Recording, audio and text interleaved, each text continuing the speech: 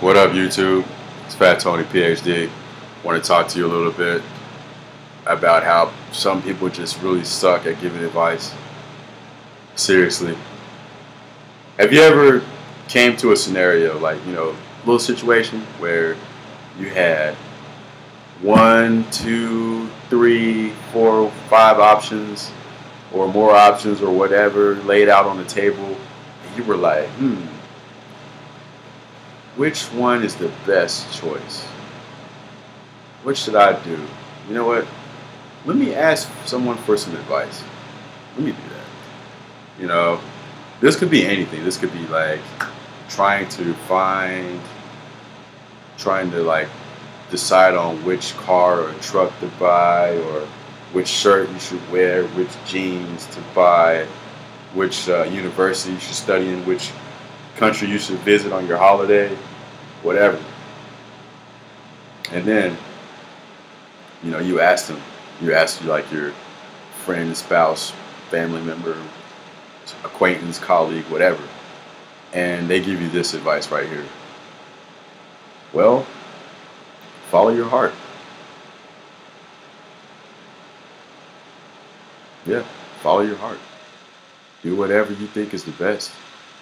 Which one do you like the most? Yeah.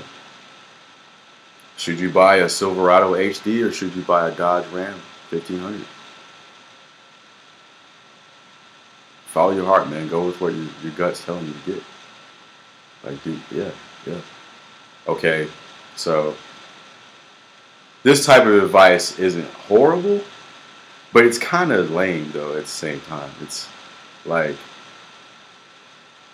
it's it's the, it's honestly it's the easiest advice to give somebody. Let's let's be for real. It's like the easiest shit you could just say. You can you, you can use this type of advice if number one, you don't know shit about what they're asking you about. You can use that advice for that. You can also use it if you don't really give a shit. You know, if you just don't care. If you're like, oh man, why the fuck is he asking me this? Why is she asking me this, man? I'll just tell her to just follow her heart, do what she thinks is the best. You know? That type of advice is pretty shitty sometimes. I don't want to hear it all the time. I really don't. Like, yeah. You know, when people tell me that, sometimes I'm like, can you just tell me what you would do in my situation and not tell me, you know, follow my heart or like look like fucking stare at the fucking sky and like I don't know, wish for the answers or some shit, man. Come on. Like, yeah.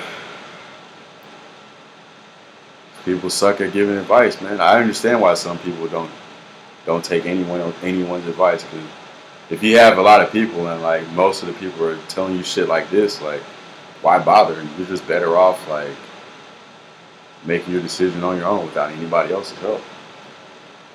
Instead of giving you that advice, I would rather tell you straight up, like, honestly, I don't know if you should go study at Duke University or UCLA. I don't know what to tell you. I mean, I can't help you on that one because I don't know about either university.